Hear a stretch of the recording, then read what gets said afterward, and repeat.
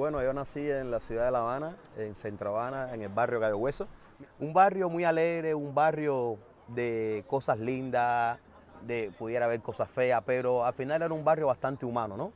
Y me crié escuchando mucha música ahí, entre los solares, eh, entre las casas, entre las actividades que se hacían.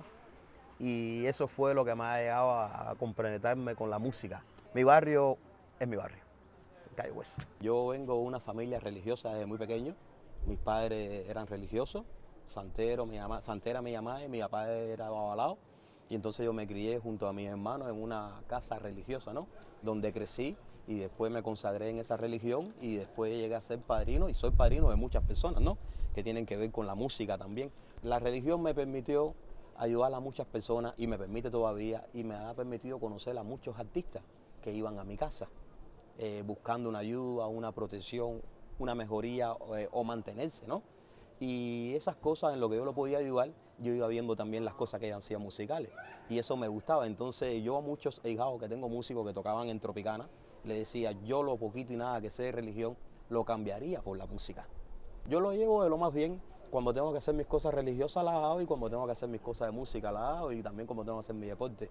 Pero gracias a la religión creo que me he desarrollado en la música, porque la religión me permitió conocer a muchas personas, aprender muchos cantos religiosos, que lo estoy llevando a esta música, ¿no? Eh, la música africana, el folclórico, la rumba, todo eso me lo dio la religión. Y entonces todo eso lo proyecto ahora con mi cubatón, con, con la música que hago.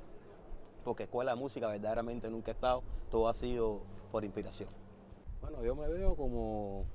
A mí me gusta el cubatón me gusta mi ritmo cubano. Yo hago una música o una función de reggaetón, de hip pero siempre lo he hecho con el ritmo cubano, antes de saber que se podía llamar cubatón. Entonces yo lo clasifico que la música que yo hago es cubatón, eh, charangatón, porque es una mezcla cubana, ¿no? De las orquestas cubanas que he conocido, como los bambán, la revés, la charanga, bambolito, esas orquestas buenas que hay en Cuba. Y entonces yo me clasifico también como que lo que yo hago cubatón, a pesar de que muchas personas le gustan bailar con mi ritmo y a pesar que también otras personas me han criticado por ese ritmo, que tú nomás que haces música cubana, música cubana. Pero yo le explico, bueno, es que yo vengo de Cuba, ¿no? Estoy abierto para hacer música para todo el mundo.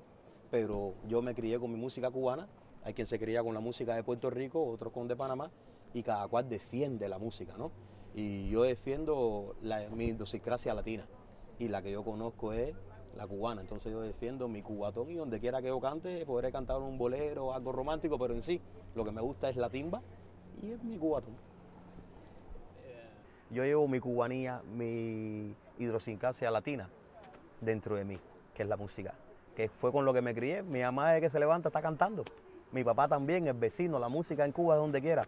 Entonces eso es lo único que tenemos nosotros y es lo que tenemos que seguir cuidando. Aunque si tú pones la música alta aquí, te llamarán a la policía, ¿no? Pero bueno, el sueño mío es poder seguir proyectando mi música hacia el mundo y poder llegar a donde llega todo el mundo, ¿no? No a la fama, sino a la popularidad y a que la gente reconozca lo que estoy haciendo, ¿no? Pero el sueño en general es poder cantar y poder disfrutar de lo que hago, tanto aquí en Suecia como en cualquier parte del mundo.